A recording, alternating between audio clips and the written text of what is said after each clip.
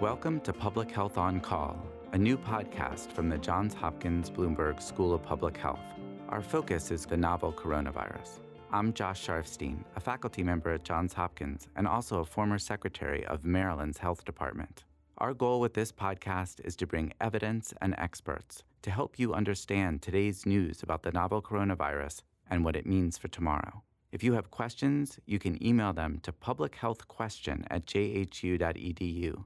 That's publichealthquestion at jhu.edu for future podcast episodes.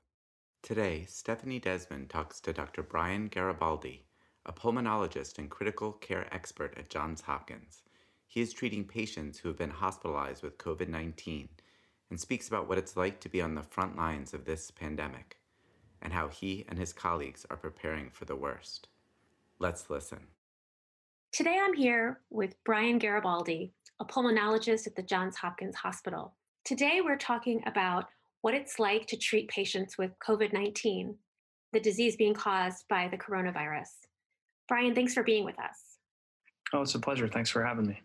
So you're really on the front lines here. You are working in the ICUs at Hopkins and seeing patients with um, this new illness. What does it look like, and how does it look different, perhaps, than other things you've seen in the past? Well, I think it's been a, an extraordinary experience so far, and, and obviously very um, unusual times. You know, it's not very often that you get to encounter patients who have a completely new disease and I think those of us who have been seeing these patients uh, from the beginning here at Hopkins, but all across the country and the world, really feel um, an incredible sense of urgency to try to make sure that we're paying attention to what we're seeing in our patients, trying to make observations that might potentially impact the way that we care for patients more effectively, uh, but also really being mindful that how we respond in the early on is going to set precedent for how we take care of these patients. So being really mindful of you know, trying to use the best evidence in terms of choosing different treatment options and really being mindful of, of making sure that we're in touch with our colleagues who are doing both clinical and basic science research so that,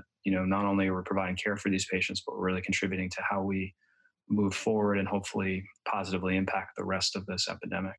So what, when someone's really sick, what, uh, how is that manifesting itself?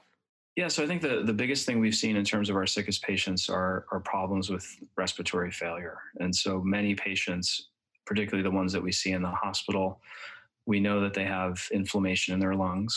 Um, and what we haven't yet been able to really figure out is, is identifying the patients who are going to go on to develop worsening problems with their lungs and require higher levels of oxygen or, or perhaps even to be put on a breathing machine versus those patients who, you know, maybe will have a little bit of inflammation, maybe require some supportive care, but then ultimately get better in a, in a reasonably fast period of time.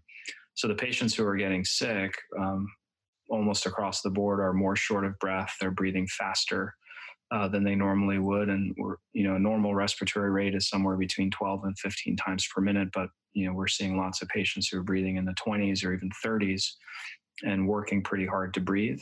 Um, and that usually corresponds to people who have a need for more oxygen. Um, and that's really when when patients start requiring supplemental oxygen. That's when we really start worrying about whether or not they're going to require intensive unit, uh, intensive care unit care, uh, and also trying to identify the patients who might need a breathing machine. Because one of the things that's different about caring for these patients is that it takes time to get into your gear and to be able to get into a patient's room if they're not doing well. And so we really have to be very proactive in identifying who might need that extra support so we can get them to the units that can handle that, but also that we can get the right providers into their gear to help those patients who are in uh, urgent need. So you're saying if there was a real emergency that came up, it would take a while for you to go in and be able to treat that person. That's true. And, and that, that really has implications for our normal care processes in the hospital. You know, the, the normal codes that that we hear about you know where god forbid someone's heart stops or they stop breathing you know that does take time for you to make sure that you're protecting yourself and protecting the rest of the team to be able to respond to those events so we're, we're really hoping that the protocols we put into place and the monitoring that we have in place can help us identify those patients early so that we can really minimize the number of times where there's an unexpected emergency where people have to rush into the room because in this particular climate you, you can't do that safely I'm interested in how it might feel differently in the hospital these days. I imagine someone's got COVID 19, they don't have friends and family able to visit them. Are you sensing in your patients uh, sort of a different level of isolation that is maybe detrimental to even their care? Yeah, I, I would say that things are definitely different, and that it's it's true for certainly our patients who don't have the physical support networks that they normally have in the hospital. It's very weird going through the hospital now and not seeing anyone other than physicians because that's really all your and, and, other healthcare providers and staff. I mean, usually the hospital is a, a, bustling metropolis with thousands of people going about their daily lives. It's very odd to be walking through the hallway and just seeing people who work at the hospital. Um, you know, I think for many of our patients, um, they're they're relying on you know their smartphones and other ways of, of trying to keep in touch with friends and family. It certainly has been a, a different experience for us as providers, not being able to you know meet face to face with families and we're you know we're doing the same things relying on our phones and and sometimes you know facetiming or or other ways of of connecting with families to keep them you know on top of what's happening. And i think that's a little bit different. We oftentimes just rely on walking into the room and saying hi to people's loved ones and being able to update everyone together. So that's added a, a different uh, aspect to our, to our care I also worry about the the connections for our providers. You know, it's very odd to be in the hospital but have to socially distance from each other, and, and I think that's something that we're we're getting used to. We're getting better about. But the whole idea of rounding together as a group and that community that you develop with doctors and nurses and pharmacists and respiratory therapists and all the all the members of the team that normally would meet together and huddle, you know, social work and case management, we've had to move all of those essentially to virtual communications, uh, either through email or through, we, we, use a lot of, you know, online chat platforms here to, to try to facilitate those discussions. But, you know, I haven't physically touched a person without gear on in over two and a half weeks. And that, I think that has unanticipated consequences in terms of the way we interact with each other, the way we interact with our families and loved ones. And that's certainly true for our patients, but I think it's also true for all the staff in the hospital as well. You talked about uh, talking to families. Clearly, we're not at the peak of this yet here in Maryland, for example, where you work. Are you worried about having to make some really serious decisions based on, uh, for example, a lack of, of ventilators in the future? Yeah, so I think um, our hospital has been thinking about these issues for many, many years. And actually, Maryland, um, several years ago, actually had a statewide committee that was led by a number of people here at Hopkins, uh, including Lee Daugherty Biddison, who's um, uh, one of our critical care providers, and, and engaging the community about, you know, if there was a pandemic, how would you want to see scarce resources allocated across the community? And so the people who were initially involved in those studies several years ago have been meeting across not just the Hopkins health system, but across all health systems in Maryland to try to figure out what advice and support we can give to the governor and the state legislature about you know how we should approach those difficult decisions. And you know i, I hope and pray that we don't get to that point here in maryland. Um, but i think it's our responsibility to think about what we would do if and when god forbid we get to that point. And we're just starting to you know we have some drafts of those types of of policies and you know how you approach those decisions um, and hopefully they'll they'll very soon be be able to be shared more broadly um, and but I do think it's important and, and, these discussions are happening. I've seen it on social media I've seen it in in uh, newspapers I've seen it even in the literature people beginning to to lay out the framework by which you could justify you know allocating resources to one individual patient over another. And there are a number of ethical issues and a number of difficult questions that come in related to pre-existing conditions age likelihood of survival all of those things that you know go into these types of decisions. It's it's interesting though. I mean we do in other aspects of our medical care we do we do actually make those decisions. You know for example in allocating transplant resources to to folks or or access to certain interventions. Um, so I think there is precedent in doing it, but never something to this wide scale. Really having to decide who gets to live and who gets to die.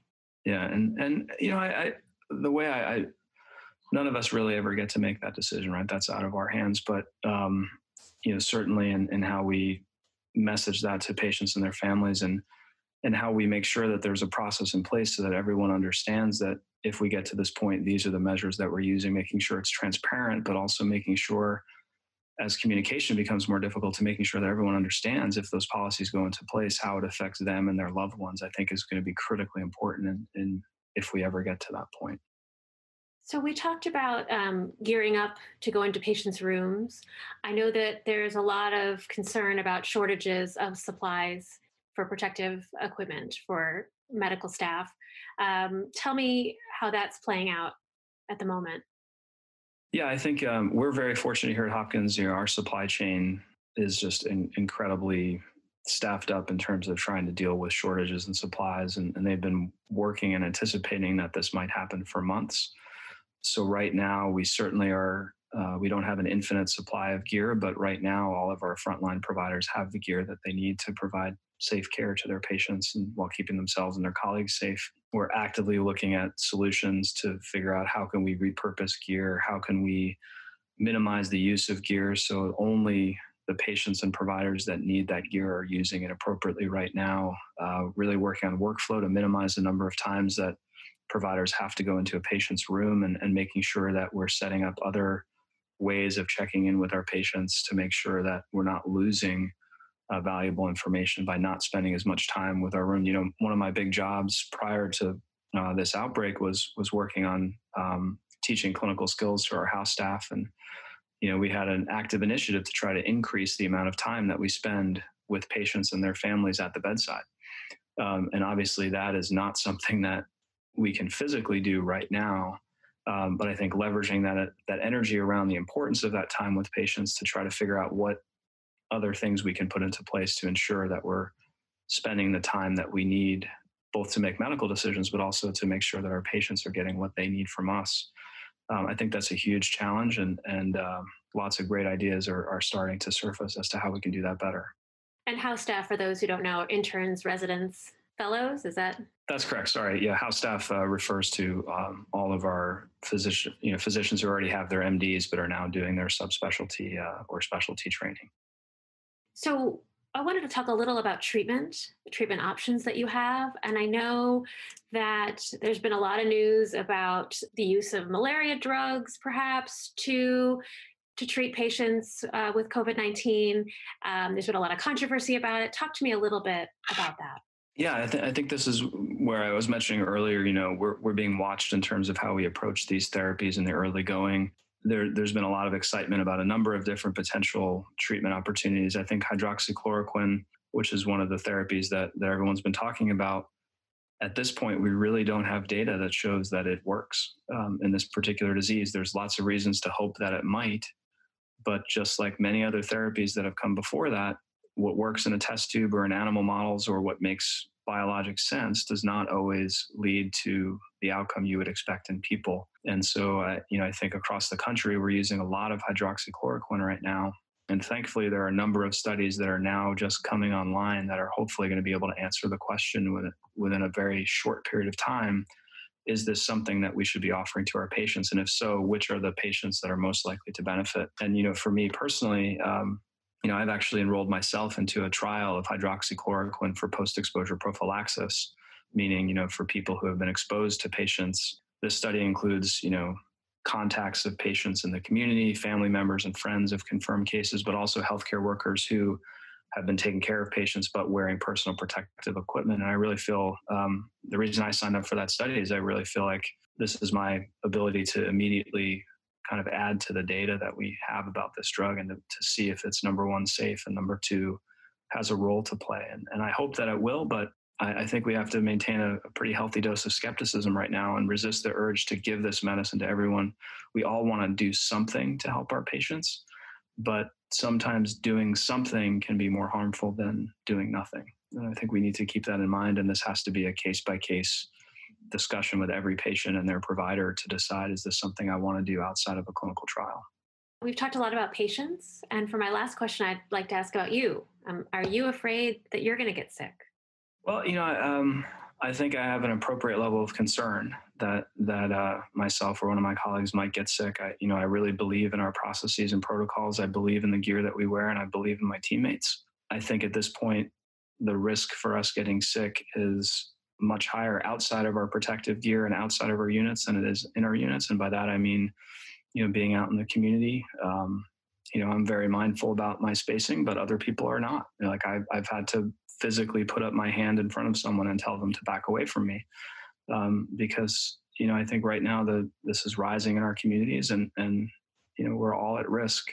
You know I think we've we've put in as best we can systems in the hospital to try to monitor our own symptoms and to try to protect each other from a healthcare provider who might become ill.